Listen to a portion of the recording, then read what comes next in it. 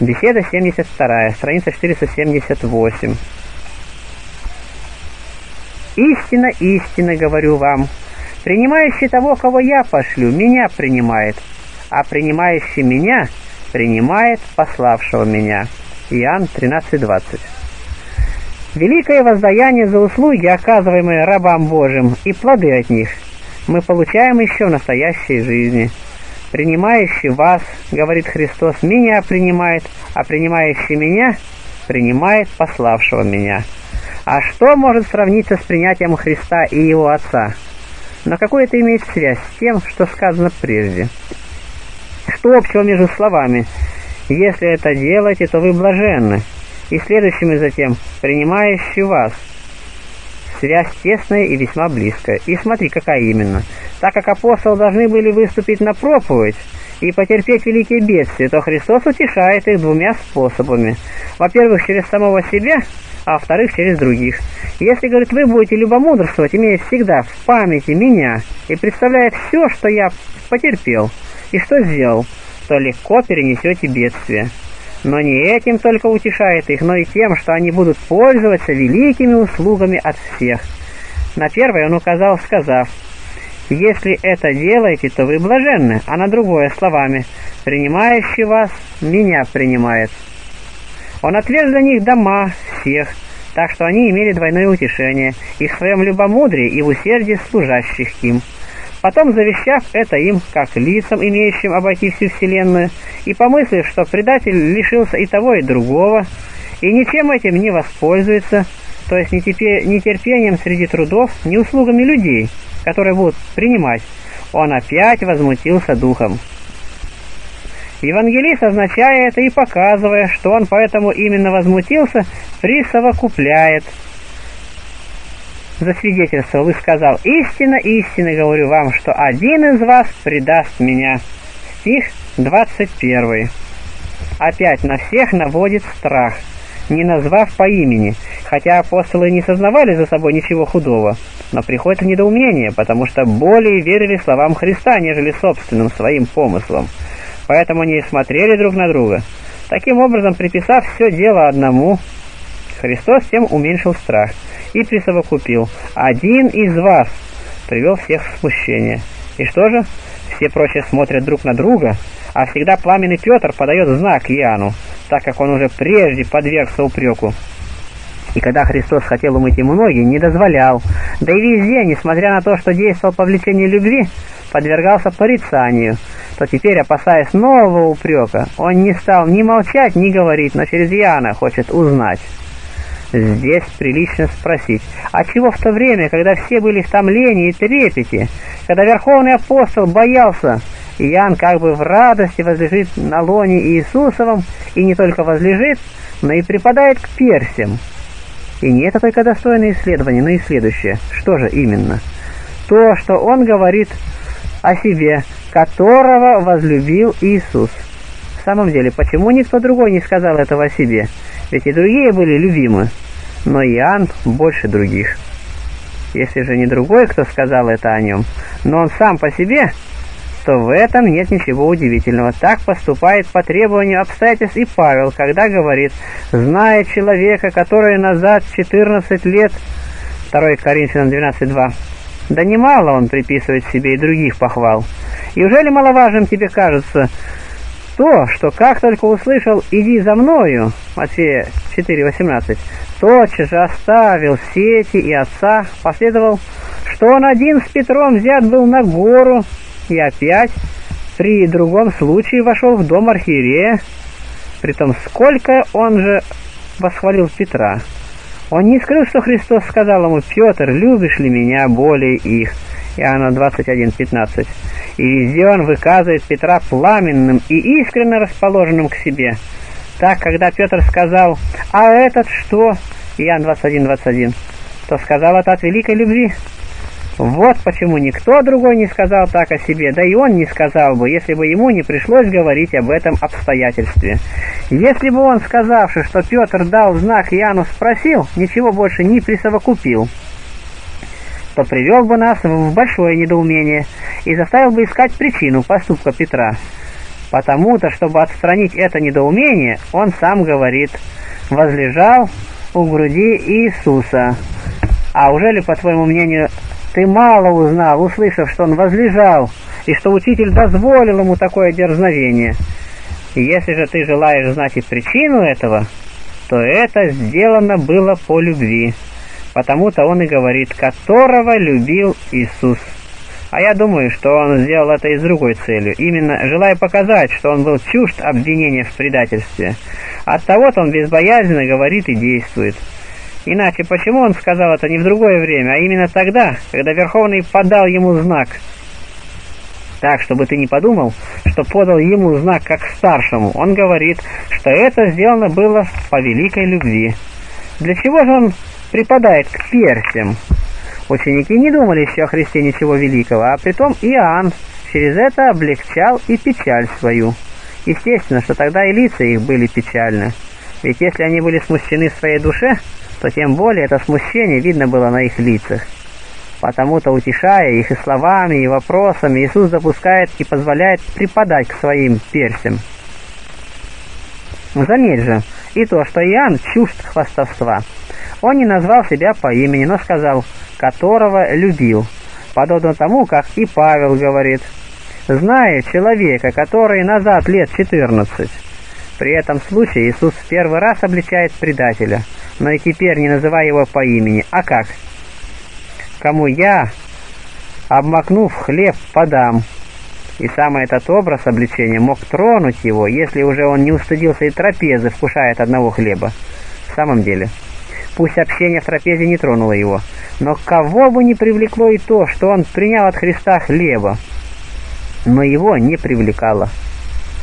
Потому-то и вышел, написано, и вошел тогда сатана в него, посмеявшись над его бесстыдством. Пока он был в лике апостолов, сатана не смел войти в него, но извне нападал на него, а когда Христос обнаружил его и отлучил, тогда уже безбоязненно вошел в него. Так как он был столько развращен и неисправим, то его не следовало долго держать в лике. Потому-то Христос наконец и изверг его.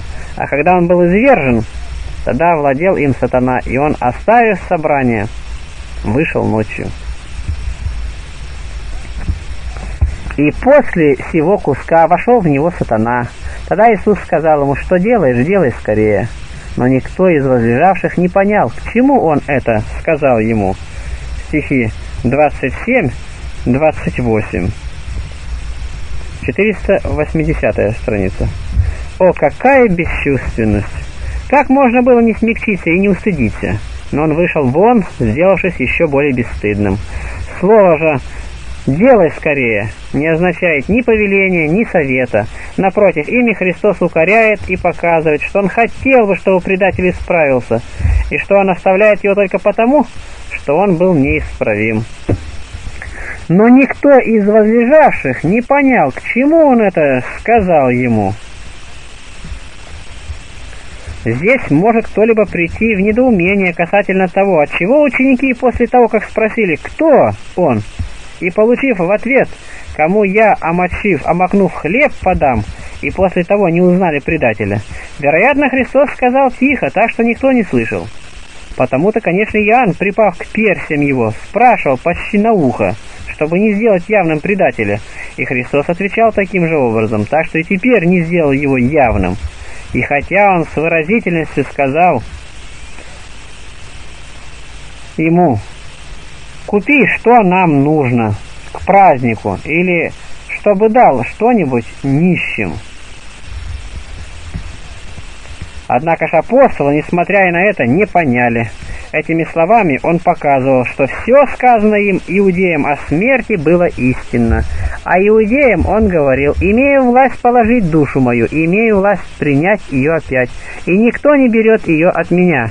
Иоанна 10:18. И действительно, доколе он не дозволял взять, никто не в силах был, а когда позволил, тогда это стало делом легким. Намекая на все это, он и сказал, что делаешь, делай скорее. Но и тогда еще он не сделал предателя известным. Могло статься, что он был бы растерзан и убит. Поэтому-то же никто из возлежавших не понял, О чем говорил Иисус? Уже ли Иоанн? Да, Иоанн, потому что он не предполагал, чтобы ученик мог дойти до столь великого беззакония. Будучи сами далеки от такого злодейства, апостоли не могли подозревать и в других ничего подобного. Итак, как прежде сказал им, не о всех говорю, и нигде не открыл предателя, так и теперь они подумали, что он говорит о постороннем. Была же, говорится, ночь, когда он вышел. Стих 30. Для чего ты говоришь мне о времени? Для того, чтобы ты познал бесстыдство предателя, так как время не удержало его от исполнения предприятия. Однако ж и это не сделало его явным. В то время апостолы, будучи одержимы страхом и большим беспокойством, находились в смущении и не поняли истинного смысла слов Христовых. Они думали, что Христос сказал «Нищим подай, что нужно» так как он много заботился о нищих, научая и нас иметь о них великое попечение. И думали они так не без причины, потому что Иуда имел у себя ящик. Впрочем, не видно, чтобы кто-нибудь приносил Христу деньги. Что ученики питали его от своих имуществ, об этом сказано, а на то нигде не сделано намека. Каким же образом тот, кто повелевал не носить ни дорожной суммы, ни меди, ни жезла, носил ковчежи для служения нищим. Это для того, чтобы ты знал, что и человеку, крайне бедному и распявшему плоть свою, нужно иметь об этом великую заботу. Ведь Христос многое делал для нашего наставления. Таким образом, ученики подумали, что Он это и говорит, то есть, чтобы Иуда дал что-нибудь нищим. Но Иуду не тронуло и то, что он не хотел обличить его до самого последнего времени. Так должны поступать и мы, не обнаруживать грехов людей, живущих с нами, хотя бы они были неизлечимы. Да и после этого, когда Иуда пришел предать его, дал ему лапзание и соизволил на такое дело тогда, когда уже шел на подвиг гораздо более тяжкий, на крест и на поносную смерть, и при этом опять показал свое человеколюбие. Здесь же он называет свою смерть даже славою, научая нас, что нет ничего столь постыдного и поносного, чтобы не обратилось к большей славе человека, если он подвергается тому ради Бога. После того, как Иуда вышел, чтобы предать его, он говорит, «Ныне прославился Сын Человеческий». Этим он ободряет поверженные в уныние души учеников и убеждает не только не сетовать, но даже радоваться. По этой-то причине он и Петру еще прежде сделал упрек. Быть преданным смерти и победить смерть – это действительно великая слава. Вот это и значит слова, которые он говорил о себе. Стих 42. Впрочем, и из начальников многие уверовали. Когда вознесете меня, тогда познайте, что это я. И опять, разрушьте храм сей, еще, знамение не дастся вам, кроме знамения Ионы. И не великая ли в самом деле слава в том, что он после смерти явился более могущественным, чем прежде смерти? Ученики, чтобы уверить в воскресенье, совершили большие чудеса. А если бы он не воскрес и не был Бог, то как бы они именем его совершили такие дела? И Бог прославит его. Что значит «и Бог прославит его в себе»? Если Бог прославился в нем, то и Бог прославит его в себе, и вскоре прославит его, стих 32. Что значит? Через самого себя, а не через другого.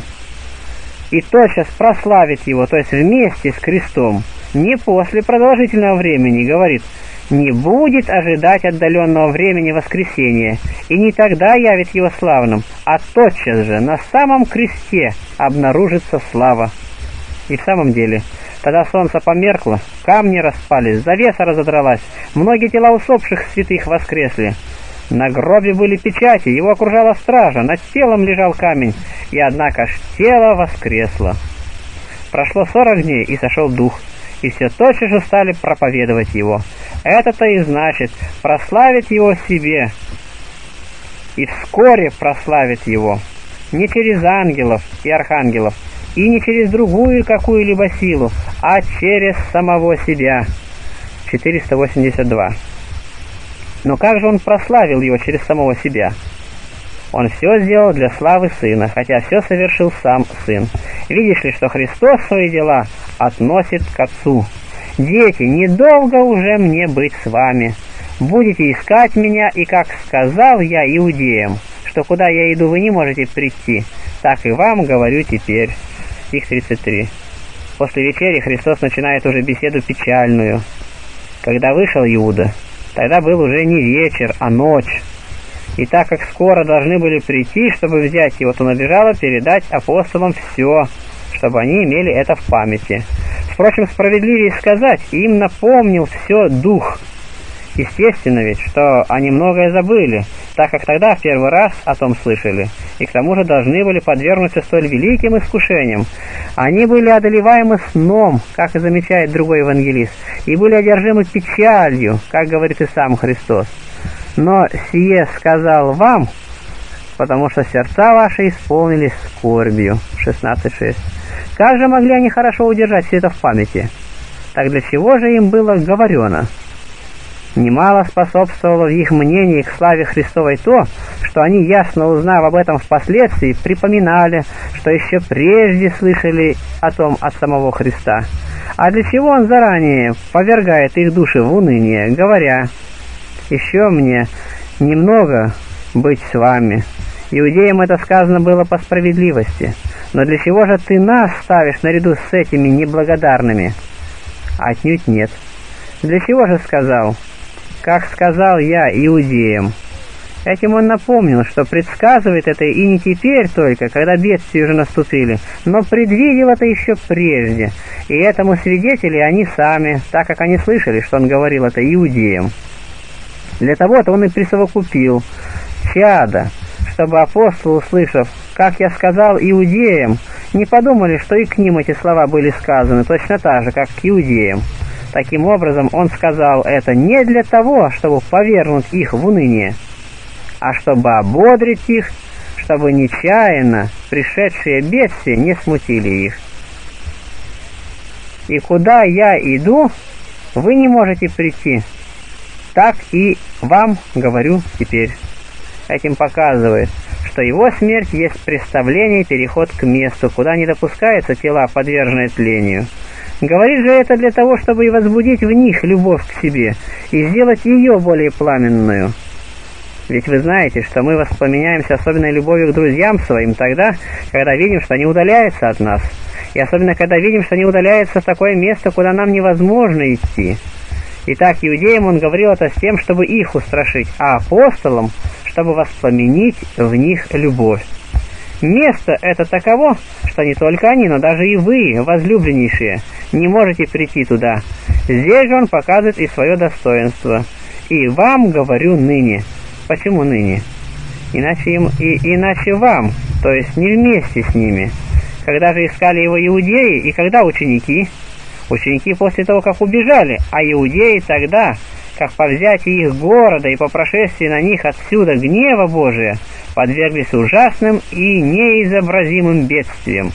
Итак, иудеям я говорил тогда по причине их неверия, а вам теперь, чтобы бедствие не постигло вас неожиданно. Заповедь новую даю вам. Стих 34.